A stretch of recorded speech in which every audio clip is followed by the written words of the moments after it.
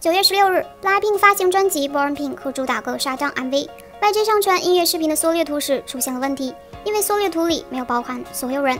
珍妮在中间，Lisa 和 Rosie 从折叠门里偷看，但是智秀却不见踪影。此外，智秀的屏幕时间和台词也被认为也很少，甚至妆容也不够精致。其实，智秀在《How You Like That》的宣传中也遇到了类似的情况，她的海报没有上传到 YG 官方 ins，也没有在《Don't Know What to Do》的舞蹈练习物料中看到她。因为他站在队伍最后，不止智秀，好像 BLACKPINK 每次回归都有类似的情况发生。在 Pink Venom 宣传期间，Lisa 的推特预告中没有包含 YouTube 和 Nav 链接，标签有错字，BLACKPINK 而不是 BLACKPINK。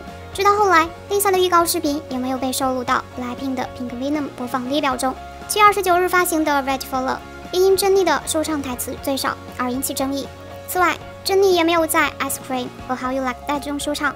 音乐节目的宣传期间继续引发讨论，因为 Rose 留着长而直的发型，风格没有改变。